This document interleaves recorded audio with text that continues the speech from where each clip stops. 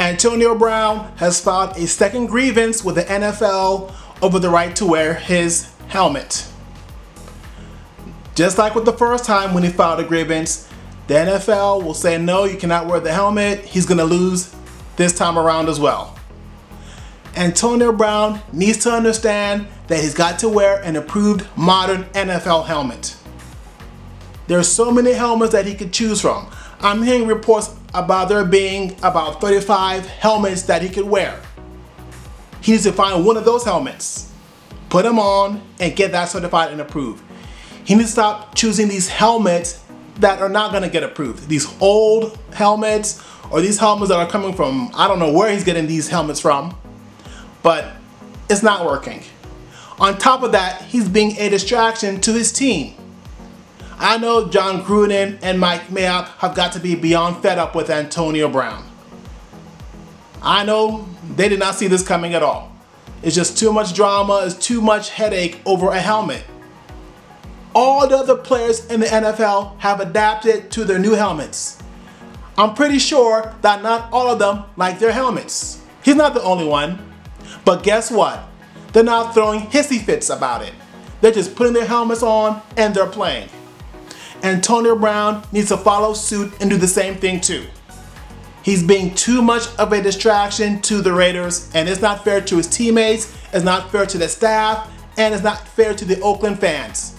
They deserve more than that. I like Antonio Brown. He's one of my favorite players. I cannot support what he's doing here. I understand he's upset about not being allowed to wear this helmet he got. Okay, get upset, but don't let your anger and your frustration hurt your teammates and hurt the staff and hurt the fans. This is not right. He needs to just find a helmet like everybody else, like all the other football players, put it on, start practicing and help the Raiders out. Last season, the Raiders were 4 and 12. So they're looking to bounce back from that poor season they had. He can really help them out. He's such a great wide receiver. If anything, he should be doing the opposite of being a distraction. He should be joining his teammates in practice. He should be practicing and helping them play well. And he's one of those guys, he can do that. He can motivate through his play and through his words, but he's choosing not to do that. He's choosing instead of practice and play with his teammates, he's choosing to be a distraction. If I were Jon Gruden, I'd pull him aside privately and I would say, Antonio Brown, enough is enough. You're being too much of a distraction. Get an approved helmet, put it on, let's keep going. We didn't bring you here to be this huge distraction. We, We paid you $30 million. We gave you a lot of money. So we're expecting you to be mature and we're expecting you to help us win games. That's why we brought you in here. So either you're down with that or you're not. They pretty much have to give Antonio Brown an ultimatum. It's come to that. And what is so sad is the season hasn't started yet and it's causing all these problems. What's gonna happen if there's another issue he has? What if he doesn't like having to wear knee pads, for example? What if he feels uncomfortable with the knee pads? Is he gonna complain about that? Is he gonna complain and, and throw a hissy fit about everything that he doesn't like? I hope he doesn't do that. If I was a Raider teammate, I'd talk to him as well. Like, hey, Antonio, we really need you. You're being too much of a distraction right now. We know that you're upset with your helmet issue, but this is too much.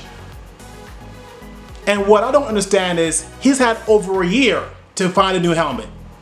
Why he's waiting until now to do all of this is beyond me. I, I don't understand it. And I'm sure other people don't understand it as well.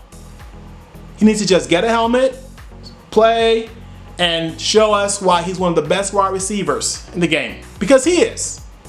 I'll put him up there with Julio Jones and David Beckham and all the other great receivers. He's so gifted. He's so dynamic. He's electrifying. He just has to stop with the antics, stop being a distraction, and help the Raiders get back to prominence. And he can do that. He's definitely a game changer. We'll just have to wait and see what he decides to do. Thanks for watching. Thanks for listening. Definitely subscribe to my channel if you have not done so already. Just press the subscribe button below this video and also click on the notification bell. That way, you will not miss out on any new content that I post. Thanks again for watching. Thanks for listening. I hope that all of you have a blessed, wonderful day.